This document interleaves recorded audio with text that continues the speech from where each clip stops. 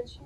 I reckon it's again my turn to win some more, learn some. Well, I won't hesitate no more, no more.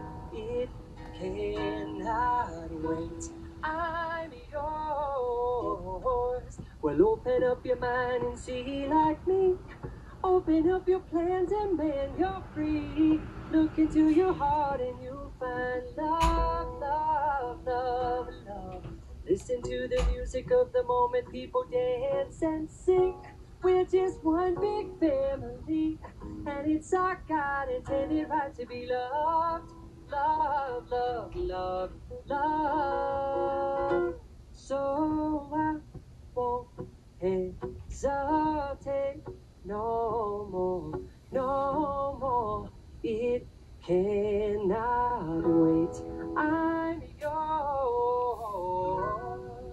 yours. So kitty. 最高最高ですよ最高嬉しいリモートで褒めこんばんは。今日は5月12日ですね。はい、今日はと言いますと、私は今日も一日ずっと部屋の片付けをしてました。ちょっとだけ、ほんとちょっとだけ綺麗になりつつあります。もう全然ぐちゃぐちゃだし、ソファーも組み立ててないし、今地面にソファーを置いている状態です。はい。明日には終わるかなという感じですもう今押し入れから全部ひっくり返してやってるので大変なことになってます今日は今朝起きて今日結構早くて7時ぐらいに起きて、まあ、ある程度こうテレビとかチェックしててそしたら『スッキリ』で全然まあ知らなかったんですけどこのジェイソン・ムラーズさんのわかりますか ?I'm Yours で有名な人ですね。ジェイソン・ムラーズさんが出てて、なんか生、生歌を歌うっていうやつだったんですけど、それもすごい良かったんですけど、私がそこじゃなくて注目したのは、全然知らなくて彼が、その歌手の傍ら、アボカド農園とコーヒー農園と、他のフルーツの農園を自分でやってるっていうのを見て、えー、なんて素晴らしいんだと思っていろいろ調べました。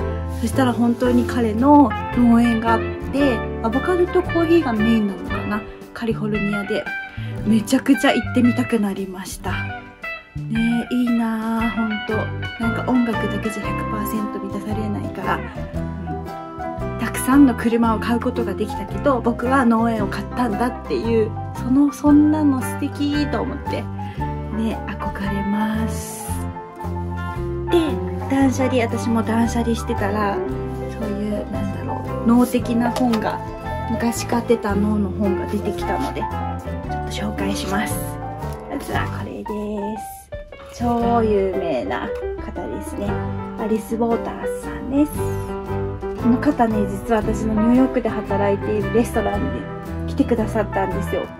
ですごい褒めてくれて私はちょうどいなかったので会えなかったんですけど、はい、学校小学校とかで食べれる庭工程とかを作ったりして、ね、アメリカの食文化を変えた一人と言われてる方ですね。素敵。見てこんな庭。夢すぎる。こんなところで多分全て食べれるんでしょうねここら辺。食べれるジャングルに住みたい。やりたい。素敵。とあとはまあ昔も話したことあるけど。パーマカルチャーの本です。脳的暮らしの永久デザインっていう本で初級編の本です。ででもねこれ中身がねもうほんと教科書みたいにでいろいろ書かれてます。ねちょっともう一回なんか本当に真剣に勉強したくなったな。一から。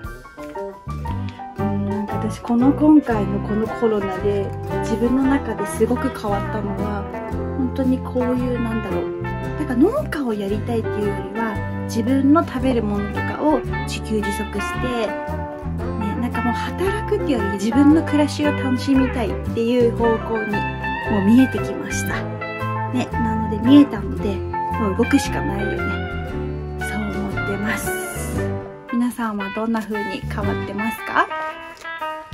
きっとたくさんの人がいろいろ考えていろいろ変わるんだろうな。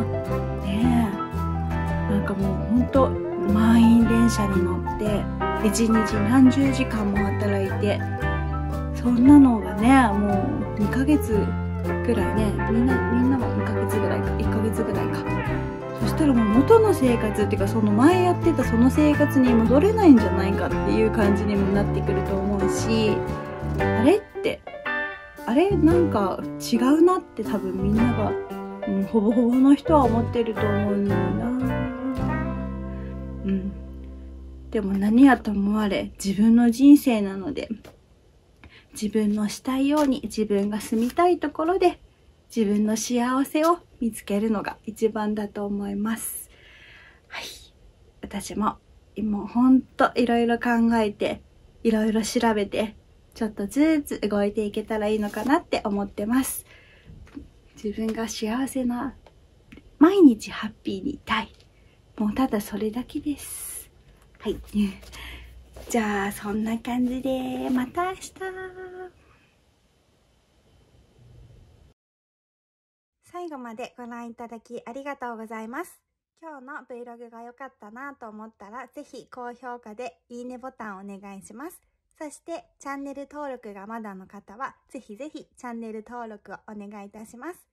それではまた明日。